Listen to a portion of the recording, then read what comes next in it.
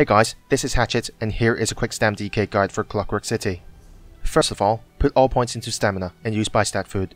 Use a Warrior mundus stone. If you're solo, you might want the Lover stone instead, but it's only a small difference. Here's my gear. For parsing, dungeons, and solo content, use Crags, Two-Fang Snake, and Vicious Ophidian. Stamina glyphs on Divine's armor pieces, and weapon damage glyphs on robust jewelry pieces.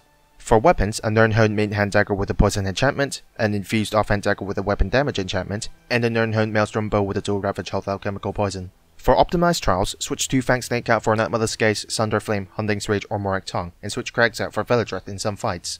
Here is my CP. I like to change things around depending on group composition and content, like this. And remember, always set your red CP.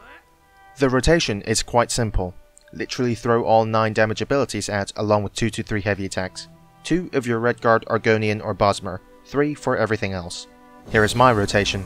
Heavy attack, Venomous Claw, Heavy, Rending Slashes, Heavy or Light, Rearming Trap, and Light Weave everything else. So, Razor Caltrops, Deadly Cloak, Bar Swap, Endless Hail, Poison Injection, Noxious Breath, Flames of Oblivion, and drop your standard ultimate here if you have it.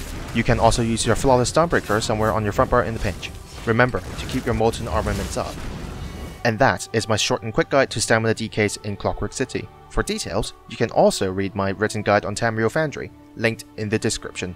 If you have any questions about this guide, feel free to ask me in the comment section down below, and I will address them for you. Anyway, hope you found that helpful. Have fun!